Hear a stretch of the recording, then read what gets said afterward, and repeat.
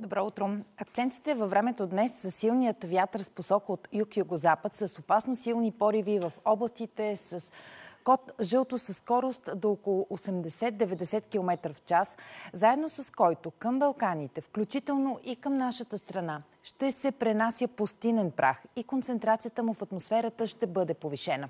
И днес в много райони от Централна и Източна България ще има валежи от дъжд на места придружени от грамотевици. Температурите в сутрешните часове ще са между 7 и 13 градуса, в София около 8, а максималните за деня ще са между 20 и 25 градуса, в София около 20, по Черноморието от 15 градуса по северното крайбрежие до 19-20 по южното.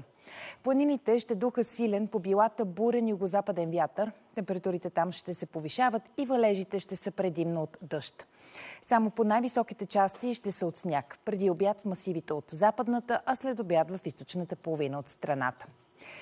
И на Балканите днес ще бъде много ветровито, ще се развива и купаста и купасто дъждовна облачност и на места ще превали краткотраен дъжд, придружен от грамотевици. У нас в петък през почивните дни, както и в понеделник, ще бъде слънчево, а температурите ще се повишават. По-съществено максималните, които ще бъдат много по-високи от обичайните за края на март и началото на април. Такава е прогнозата за времето. Останете с денят започва.